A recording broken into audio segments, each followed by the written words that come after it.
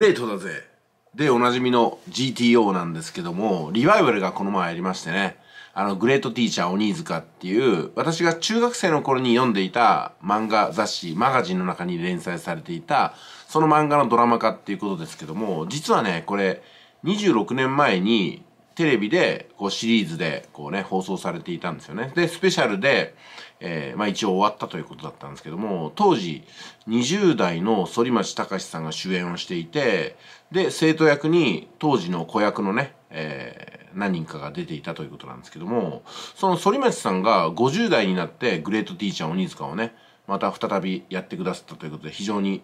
期待が高まったわけなんですよ。それから当時の子役だった生徒たちも今立派なね、年齢に40代ぐらいになって再共演ということで、なかなかこれね、見どころがあるなと思ったんですけども感想としてはねもうちょっと頑張れよと思いましたね。もうちょっとやれよみたいなねいまいちだったかなと思います。でもそれでも十分楽しめたんですけどももっともっとグレートなね内容になることを期待していった分まあこんなもんかって感じでした、うん、まああの全然悪いことはなかったんでねよかったなと思いますけどもその中でねあのやっぱり40代になった当時の子役がよくね今日まで生き延びてきたかなってとですよね。窪塚洋介さんとかね、えー、それから小栗旬さんとかねその他もう一人ねあの私ちょっと名前をね覚えてないんですけども何人かいたんですけども当然当時のスポットが当たった子役の中でもうすでに芸能界引退している人もいたんですけどもやっぱり当時子役としてグレートティーチャー鬼塚でデビューしてでスポットが当たるような回があってでその後芸能界を去っていくっていう人生があったりとかね。でも今逆に10代や20代の頃に芸能界から離脱した、まあ、方々にはそれなりの人生のやり直しっていうのがあったかもしれませんけども今40代になってねそれなりの地位を築いていない芸能人、うん、タレントっていうのはそれなりに芸能界にいるからこそ苦しいだろうなっていうところがあったりしますね。まあでもねその反町隆史さんは他のドラマ何に出てるのかよくわかんないんですけどもこのグレートティーチャー鬼塚っていうのがハマり役でそれだけでもうねやっていけてるんだなって気がしますねであと松島菜々子さんも共演したんですけどもなんか知らなかったんですけどもこのドラマがきっかけでご結婚されてたんですねあのドラマの中でも恋愛関係に発展するみたいなものがあったんですけどもなんか今ねお互い50代でそのご夫婦をされてるみたいで今回もねその共演されてましたね。うん。まあでも松島菜々子さんやっぱり当時の美しさがそのまんまなんか50代まで持ち越されてるような感じがして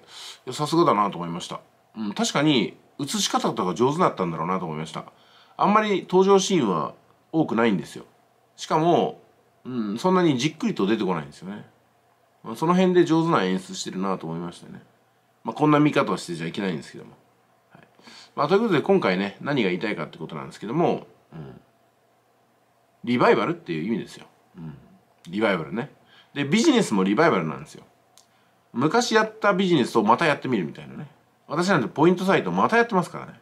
うん、でそうすると新しい発見があったりとか